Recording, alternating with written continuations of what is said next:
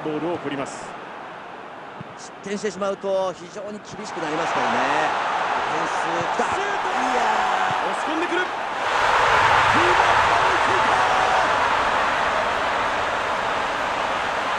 められてから北澤さんまたすぐでしたね。すごいなこれはいやなかなか動きますよね。やられたらやり返すですよね。